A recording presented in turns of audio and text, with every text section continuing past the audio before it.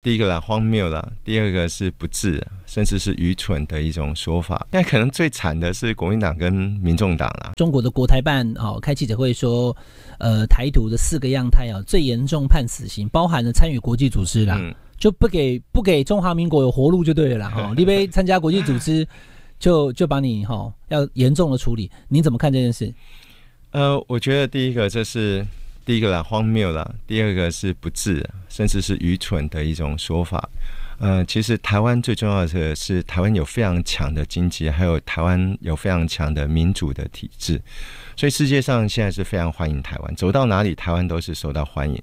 那台湾护照好用哦，这个大家都知道。那为什么？就是因为呃，我们跟国际社会站在一起，特别是过去 COVID-19 三年的时间，呃，台湾 can help。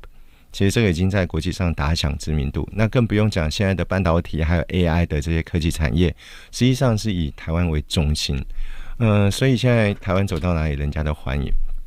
那你刚刚在提到的，呃，所以世界上的很多国家其实是支持台湾要有意义的参与国际的组织啊，因为这个跟人权有关系，跟普世价值有关系。所以你刚刚提到两个，第一个是 WHA。这个跟人类的健康有关系，嗯，好，所以特别在 COVID-19 的时候，台湾其实呃产生了很大的一个贡献。然后第二个民航组织也有关系啊，这个飞航的安全是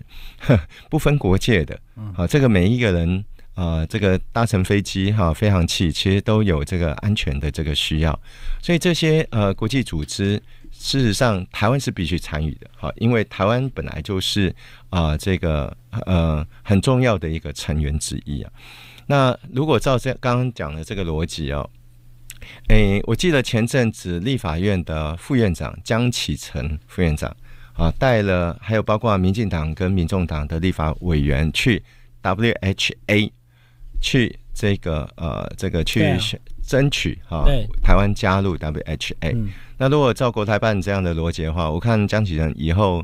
哎，这个也是算顽固台独分子啊，哎，这个也要被判呃这个重罪，因为他在这个呃争取台湾的这个国际的这个空间去参加国际组织嘛，对不对？那所以这个逻辑是完全不通的，而且我觉得哦，现在现在可能最惨的是国民党跟民众党啦，哎，最惨的可能是国民党，那接下来不晓得怎么办呢？对，呃，如果照这样逻辑的话，那这个。呃，傅昆奇啦，傅昆奇带了这个十几个立委去中国大陆，这里面这几个立委以前可能搞不好也说过一些违反他们这四点的一些讲话，那以后是不是进到中国全部都要抓起来管？所以我觉得接下来其实中国政府会用台湾话会会给掉的啦，那进退两难哦。他接下来我觉得不晓得怎么样去面对啊，这个台湾的人民啊，以及包括这个所谓的。呃，过去一般来讲比较轻松的这些政党，因为全部通一一竿子全部都打掉。